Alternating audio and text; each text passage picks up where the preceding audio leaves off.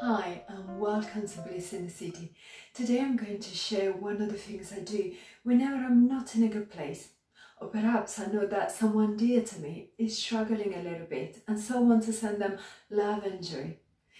It's part of my Qigong routine and uh, helps the heart and mind to slow down, but also to connect to the higher energies of the sky, the earth, nature, so we can feel more grounded and connected. It's called Lotus Flow. And just like with the lotus, this routine helps us transform murky energies into beauty. So let's come into this moment, feel, feel your feet to the ground, and breathe in. Lift your arms above your head like, like bring your fingers together like a triangle. Breathe out. Bring your hands to your heart.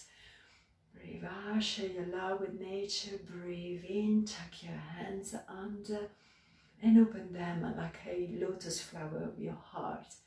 And breathe out connect to the universe connect to the earth Connect to your heart.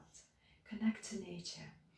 Breathe in and be like the lotus and breathe out.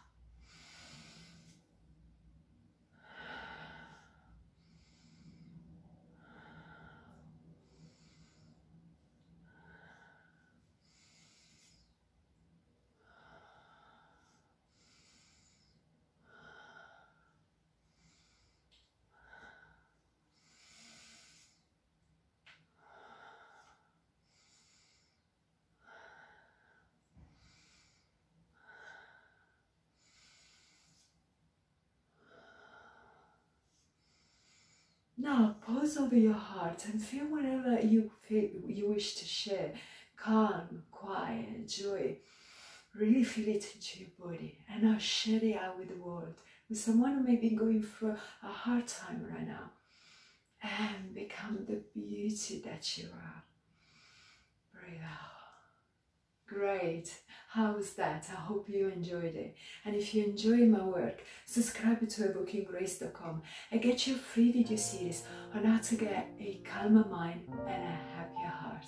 But for now, much love and grace from my heart to yours.